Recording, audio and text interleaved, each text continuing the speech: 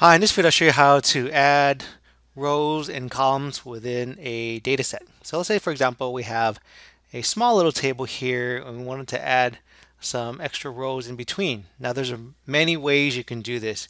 You can go under insert, insert rows, it will insert a row or you can use a keyboard shortcut. Let's control Z to undo that. You can use a keyboard shortcut Alt I R that will insert a row. There's also another keyboard shortcut that is Shift Control and then the plus sign. You can just keep pressing that and that's going to add extra rows there. Let's delete these rows here. If you wanted to be a little more targeted, I'm going to delete these rows first and insert like maybe a row after each item. There's a couple ways you can do that. You can select, you can multi-select these. You might think that, oh, I can select from here and maybe insert insert a row and it'll insert a row. But no what it's going to do is since you selected eight rows it's going to insert eight rows. It doesn't insert a row after each item. Control Z to undo that. What you need to do is you need to press the control key while you multi-select each row not uh, select the whole range. So you have to kind of click the mouse key again and again after each one. Then you can use right click, insert, or go under insert here, insert rows, and it's going to, oops, uh, I must have multi-selected something here.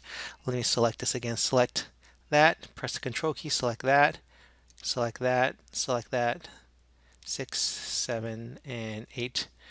Uh, right click, go to insert, and now it's insert, inserted a row after each one. Actually, I didn't need one up here, but I think you get the gist of what I'm talking about. So that's one way we can do it. Control Z to undo that. Another way to do it is to add a helper column here. What I'm going to do is type in 1, 2, and that just kind of starts the, the linear progression of 1, 2, 3, just to, to set up a list here.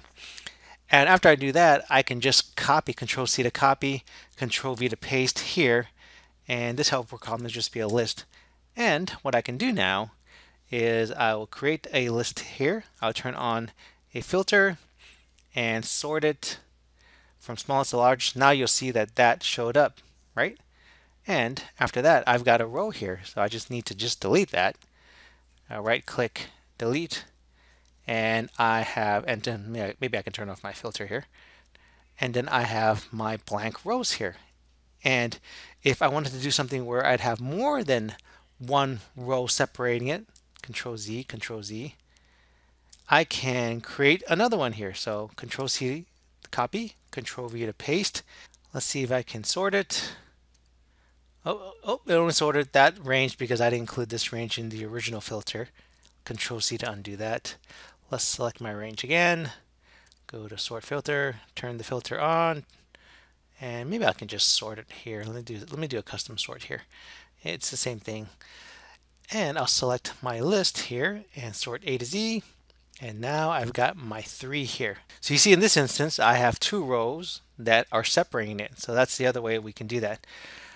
Now, in addition to doing this by rows, we can also do this by columns. I'll just show a couple examples here. So we have our items here that transposed. As I mentioned before, you can go under insert. We can insert column here. It's going to insert a column. Or I can go and click on one of, one of these columns here, control shift and plus, it inserts that. If I want to insert two columns, I can do, uh, let me use the keyboard shortcut now. It's going to be Alt I, and now it's C for column, right? So I've inserted two columns there. And in addition, what I did before, if I wanted to insert one column after each of the items. Let me multi-select that by pressing the Control and multi-select, right-click and delete. What I can do is I can also multi-select in this case, uh, select, press the Control key, press column C, D, E, F. I don't need the G because I have something after that. And I can right-click or left left click or right mouse click and go to insert and it's going to insert a row afterwards, right? And the same thing that I did earlier, oops, I forgot to add one there. Control Z to undo that. So what I did earlier with the one, two, three, I can also do in this instance. I can have it have one, tab 2, tab 3.